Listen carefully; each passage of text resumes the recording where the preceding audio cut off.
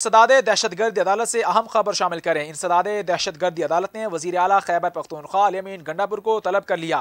कौमी असम्बली में opposition leader Umar यूब और शिबली फराज को जमानत मिल गई। रावलपिंडी की इंसदाद दहशत गर्दी अदालत ने वजी अला खैबर पख्तूनख्वा पार्लिमानी लीडर सुनी इतिहाद काउंसिल जरताज गुल समेत दीगर की तलबी के समन जारी कर दिए गए। समन नौ मई के पुरतशद वाकत के हवाले से थाना कैंट में दर्ज मुकदमात में जारी किए गए।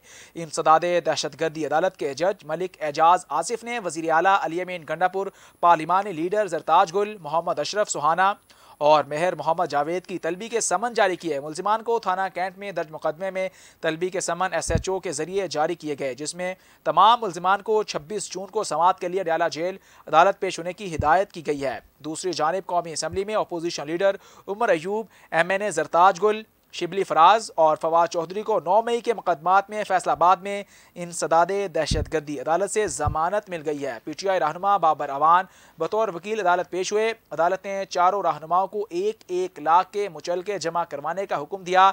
इस मौके पर बाबर अवान का कहना था कि एक हवलदार एक एएसआई और एक कांस्टेबल को मोहरा बनाकर पूरे पंजाब में हमारे लीडर्स और कारकुनान को दर्जनों मुकदमात में घसीटा गया, जो गैर आइनी और गैर कानूनी भी है, जबकि पुलिस के पास दहशत गर्दी का कोई रिकॉर्ड है, ना ही कोई सबूत पेश किया गया। आपको हम खबर से आगाह करें, इंसदाद दहशत गर्दी अदालत ने वज़ीर अला खैबर पख्तनख्वा को तलब कर लिया। कौमी असम्बली में अपोजिशन लीडर उमर यूब और शिबली फराज को जमानत मिल गई।